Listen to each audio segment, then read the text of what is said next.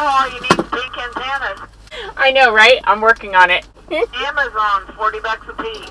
I got two extra ones, but they're home. I'm gonna have to check that out. Yeah, I want to get some accent lights for it and uh, have a button in here. I'm gonna put a honk for pink on the side of the truck, and then anytime somebody honks, hit a button and all the lights flash. Pretty cool.